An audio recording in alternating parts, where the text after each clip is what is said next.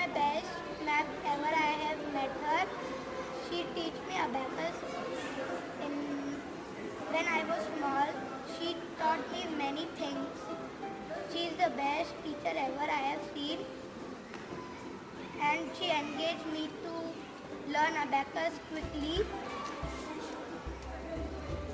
Thank you.